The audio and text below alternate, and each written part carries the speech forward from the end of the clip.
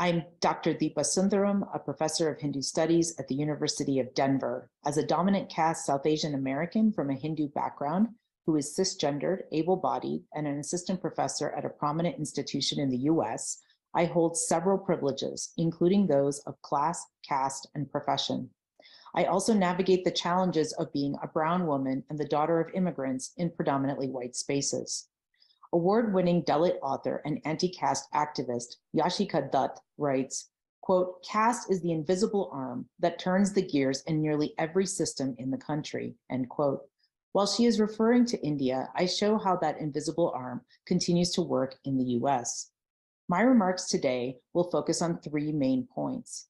One, caste is a social, cultural, and political hierarchy that continues to proliferate in South Asian and Hindu communities both within and outside of the Indian subcontinent. Casteism is cultural violence that must be addressed through civil rights protections. Two, the roots of caste practices in the form of varna, literally class or category, and jati, birth group or position, are found in many Brahmanical Hindu texts, such as the Vedas, Laws of Manu, and Bhagavad Gita. Hindus can and do reject these practices. To do so ethically requires acknowledging caste-based practices as part of the tradition and seeking to build more inclusive communities.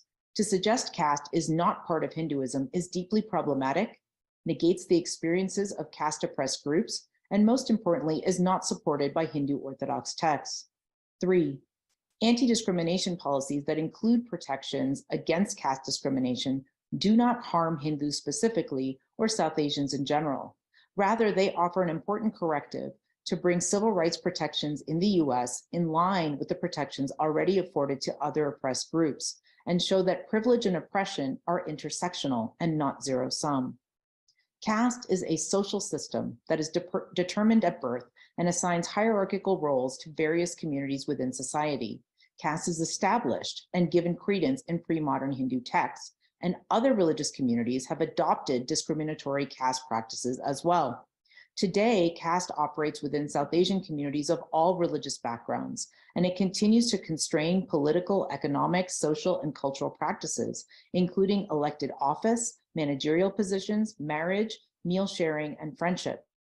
In my reading of a recent lawsuit two Hindu professors filed against Cal State University for adding caste to its anti-discrimination policies, it seems contradictory that the complainants both wish to argue that caste is not foundational to Hinduism and that Cal State does not have the right to define Hinduism. If one believes caste is not part of Hinduism, then why argue that Cal State's policy banning caste discrimination maligns Hindus?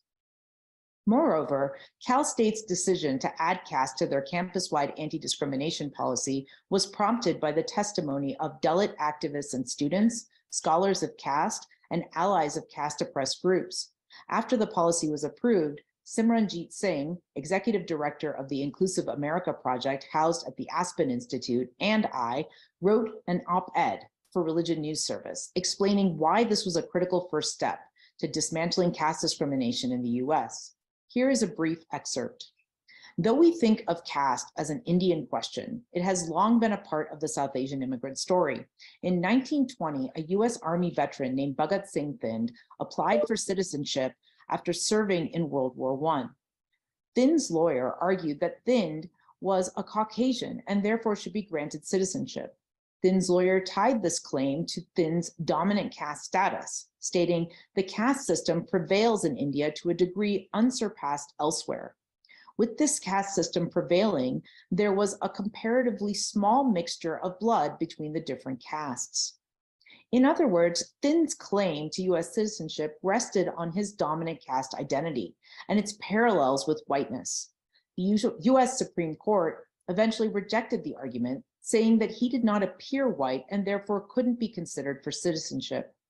But his attempt to claim whiteness, in part based on his caste, identity, shows us an important linkage between caste and race. Both are socially constructed mechanisms for cultural power. It also underscores how long caste has been an operative category of identity in the US. Critics who have opposed Cal State's move, some of whom are who are affiliated with groups with dominant caste leadership and a history of caste apologists and Hindu nationalist views argue that non-discrimination policy should not consider caste because the policy would then only apply to one group, South Asians. They further claim that calling attention to caste inequities actually risks creating negative stigmas and endangering an already vulnerable Hindu minority.